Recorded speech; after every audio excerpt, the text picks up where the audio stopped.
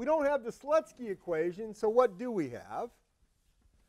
Well, we can actually figure out a relationship between unconditional factor demand and conditional factor demand. And let me tell you how to do that.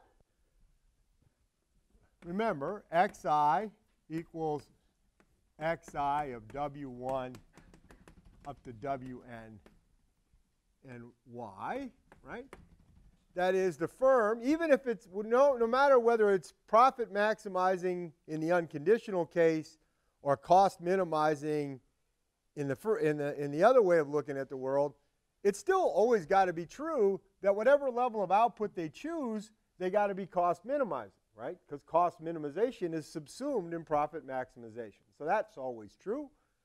And then we get y equals cy of w1 up to wn and y. But he agrees with that, right? That's the optimal optimality condition for y. Of course, this is just ci of w1 up to wn and y. So I guess how we're going to get the analog of the Slutsky equation. Oh, Jesus.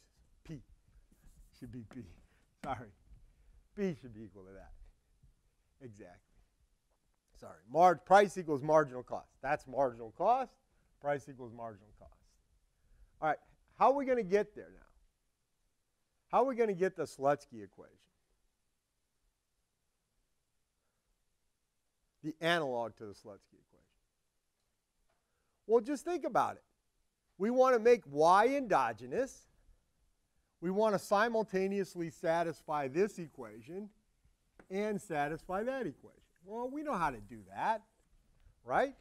We're just going to allow y to vary in such a way that it holds this equation in balance, right? So totally differentiate, but allowing y to change. So the first equation says partial xi, this will be our unconditional response, partial wi equals c II plus CIY dy dwi, right? But you get that? I just totally differentiated this thing with respect to wi, allowing y to vary. So now the change in factor i with respect to the price of factor i, we could have done j2, doesn't matter, is CII plus CIY dy dwi. I want to hold this in balance. Well, p isn't changing, so this is 0 equals c i y. I guess I'd call it cyi plus cyy dy dwi. Okay? That implies dy dwi equals minus CYI over CYY. Okay? And then I can just plug this in there.